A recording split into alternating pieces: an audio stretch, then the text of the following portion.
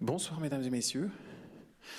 Bienvenue à cette euh, projection euh, de la version restaurée d'Adieu Philippines de, Jacques Rosier. Euh, je vais être bref puisque ce sera Noémie Jean qui va, vous présenter le film, mais j'aimerais peut-être juste vous, dire un mot pour vous expliquer pour quelles raisons la Cinémathèque suisse s'est retrouvée partenaire de la restauration de la plupart des films de Jacques Rosier. Euh, depuis déjà pas mal d'années.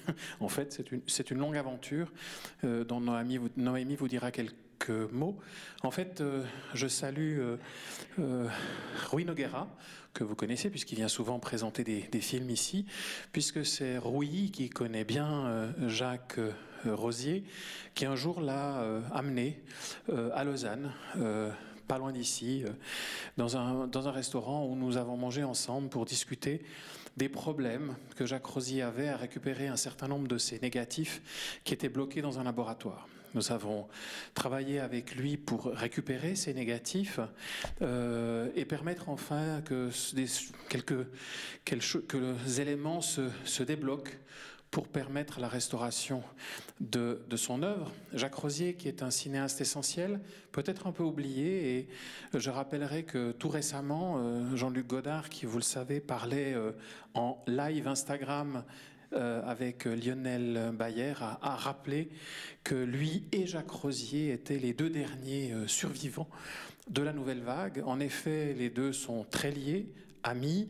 Euh, Godard a contribué d'ailleurs à la production de certains de, de, ses films. Euh, et c'est vrai que dans son esprit, Adieu Philippines est probablement un des films fondateurs de l'histoire de la nouvelle vague et probablement du nouveau cinéma français. Mais je ne vais pas en dire plus. J'ai le plaisir d'accueillir euh, Noémie Jean, restauratrice et euh, enfin, responsable de plein de restaurations, notamment de travail avec Jacques Rosier à la Cinémathèque française, qui a piloté toute cette aventure. Et j'ai le plaisir de l'accueillir parmi nous. Noémie, à toi la parole.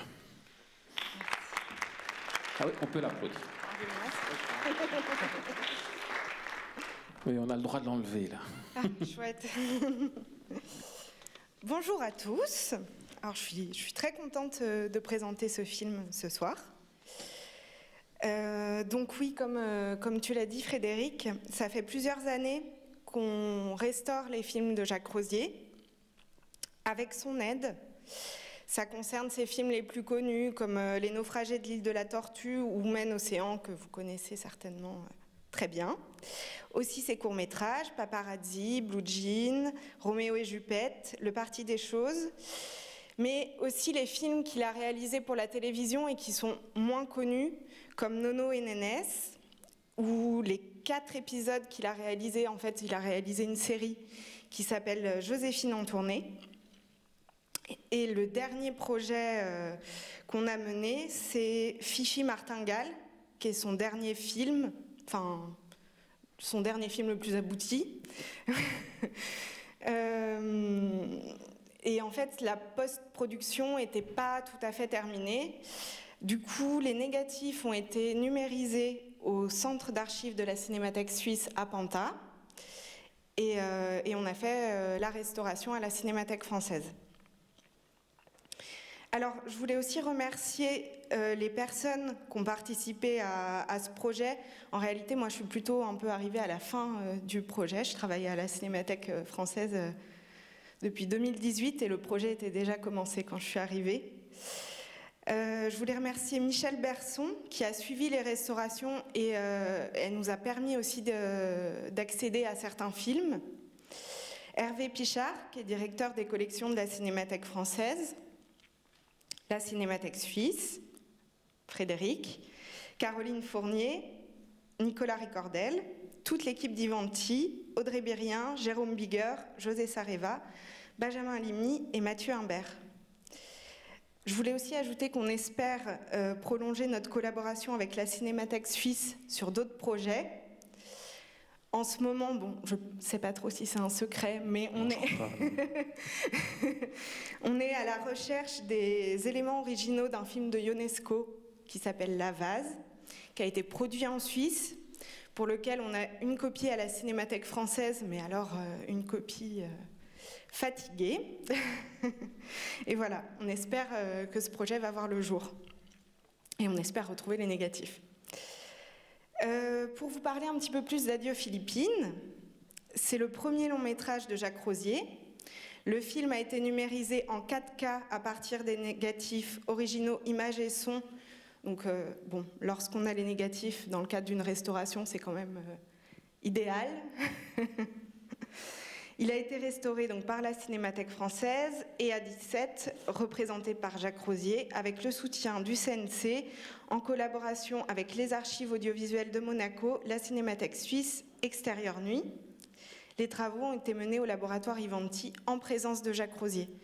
Donc euh, la question m'a été posée tout à l'heure et, Jacques Rosier a suivi la restauration de chaque film, même euh, peut-être un petit peu moins Fifi Martingale, mais il a quand même gardé un œil dessus. Le projet d'Adieu Philippines a commencé donc au début des années 60. Euh, Jean-Luc Godard présente Jacques Rosier au producteur d'About de Souffle, Georges de Beauregard, qui désirait faire un film sur la jeunesse. Il est séduit par le projet initial de Jacques Rosier, une comédie musicale, Embrassez-nous ce soir, qui connaîtra de nombreuses transformations pour devenir Adieu Philippines, qui n'a plus rien à voir avec une comédie musicale. Empreint d'une certaine légèreté, le film se déroule sur fond de guerre d'Algérie, comme vous allez le voir. Le réalisateur met en scène le quotidien d'un groupe de jeunes plutôt insouciants et libres. À travers cette liberté, cette liberté des corps se dessine celle d'un nouveau langage cinématographique qui chamboule les codes, Inspiré entre autres par le cinéma de Jean Renoir, comme de nombreux réalisateurs de la Nouvelle Vague, Jacques Rosier réussit à se faire embaucher comme stagiaire sur le tournage de French Cancan en 1954. Il raconte, alors je me suis permise de mettre des citations dans cette présentation parce que, comme Jacques Rosier n'est pas là, je me suis dit c'est important un petit peu de le faire parler. Une scène surtout m'a marquée où Maria Félix devait se brosser les cheveux Renoir ne lui donnait aucune indication au début, notait un geste, partait sans idée préconçue, et quand l'acteur construisait, il encourageait à refaire tel ou tel mouvement, modulait. Cette méthode, je me la suis appropriée. Et c'est cette, première expérience qui va, guider Jacques Rosier tout au long de sa carrière, en fait. Donc Adieu Philippines est un des films emblématiques de la nouvelle vague, aux côtés d'À bout de souffle de Jean-Luc Godard, des 400 coups de, de Truffaut ou de Cléo de 5 à 7 de Varda. Jacques Rosier s'inscrit dans ce mouvement en tournant en extérieur et plus en studio. Avec du matériel léger, plus maniable, il se libère des conventions narratives en jouant avec la temporalité, les espaces et les codes du montage. Il va beaucoup utiliser les jump cuts, qui sont des brèves coupes d'images consécutives dans un même plan, vous allez pouvoir le constater euh, dans le film, et vous l'avez certainement constaté dans, dans les films de Jean-Luc Godard aussi, par exemple. Ici, Jacques Rosier euh, les maîtrise habilement et marque le rythme de la musique qui tient une place essentielle, entièrement post-synchronisée à cause d'un problème de prise de son.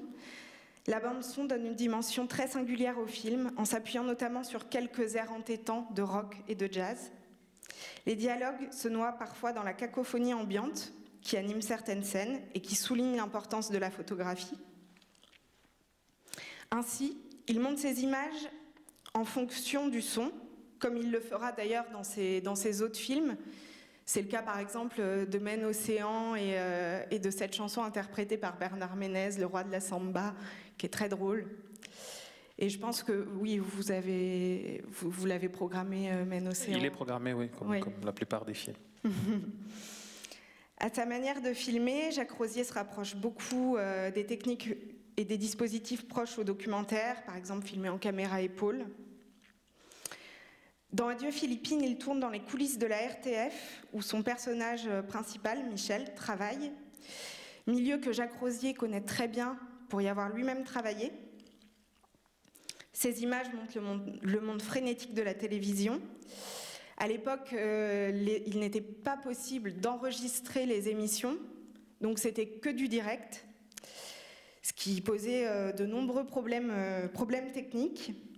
Jacques Rosier dira à ce sujet je suis surpris qu'Adieu Philippines soit le seul document disponible sur les émissions en direct de ces années-là. J'ai des paniques noires, c'était un stress majeur, un peu l'impression de piloter un Boeing. Leur idée était de faire du cinéma par la télé, mais il n'y avait pas de système d'enregistrement, donc pas d'autre solution, en cas de pépin, que de faire le noir à l'antenne. J'ai retenu de la télé cette sensation, cette idée qu'il faut que ça se passe coûte que coûte, ça devient vite une théorie, une méthode de tournage qui m'a servi sur Radio Philippines. Donc il laisse aussi une très grande place à l'improvisation et, à la spontanéité du jeu des acteurs. Je crois que on peut dire que c'est un petit peu sa marque de fabrique. Euh, pour les rôles euh, principaux, il choisit des acteurs non professionnels trouvés dans les rues parisiennes. Ainsi, Jean-Claude Amini se trouve être initialement un employé de banque et pas du tout un acteur. C'est celui qui joue le rôle de Michel. Quant à Yveline Seri, elle a été repérée dans un drugstore, donc pareil. Euh, pour ce film-là, il a écrit tous ses dialogues en style indirect pour laisser, euh, pour inciter ses, acteurs à prendre des initiatives de jeu. Et puis aussi, euh, il dit qu'il voulait absolument conserver euh, tous les petits tics de langage que pouvaient avoir les Parisiens, les jeunes Parisiens des années 60. Jacques Rosier est sans cesse à la recherche d'instants précieux tels qu'un geste ou un regard. Il laisse tourner sa caméra très longtemps sans donner de consignes aux acteurs et accorde une très grande importance aux imprévus et aux petits accidents de tournage qu'il conserve souvent dans ses montages euh, définitifs. Pour Adieu Philippines, il tournera environ 40 000 mètres de pellicule, ce qui est énorme. Pour vous donner une idée, 300 mètres de pellicule, c'est déjà 10 minutes de film. Donc il devra faire de nombreuses coupes, dont certaines ont été imposées par son producteur, et toutes les rushs, les coupes, les chutes d'Adieu Philippines sont conservées par la Cinémathèque suisse, à Panta. Le film sera présenté à Cannes en 62.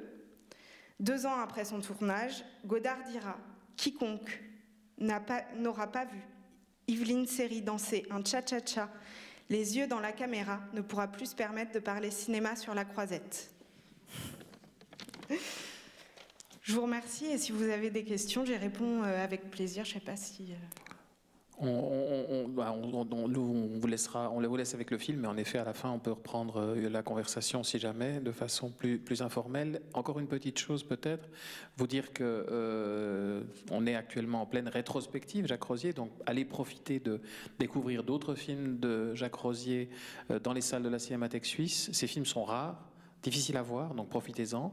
Vous dire aussi que la Cinémathèque suisse a aussi acquis les droits de diffusion de ces films sur le territoire suisse, donc euh, certains films de Jacques Rosier vont circuler euh, dans l'ensemble du pays ces prochains, ces prochains mois, euh, et que cette nouvelle version restaurée avec soin d'Adieu Philippines a été présentée en, première dans le cadre de Venice Classics à, Venise par, par Frédéric Bonneau, directeur de la Cinémathèque française, en présence de, ben voilà, de nous tous. Euh, de tous les partenaires de, cette euh, longue et belle aventure qui n'est pas terminée parce qu'il y a encore des films qu'on doit restaurer. Oh et j'excuse l'absence de, Jacques Rosier, mais en effet, euh, ben voilà, il est né en 1926, il a un certain âge et il est souvent difficile à trouver. Hein? Donc on, ne sait pas tout à fait où il est. On sait qu'il est toujours parmi nous, mais on ne sait pas exactement où il est. Donc je crois qu'il n'a pas le téléphone. Et donc ça rend les choses relativement complexes. Mais ça correspond à son cinéma, à son œuvre à la fois légère, grave et souvent très drôle. Et pour terminer sur Ménocéan, qui a été évoqué plusieurs fois ici, le film avait remporté un, prix au, Festival de comédie de Vevey, du temps où il existait, euh, ce, non pas le festival actuel, mais le festival d'il y a longtemps, puis c'était au moment de la sortie du film.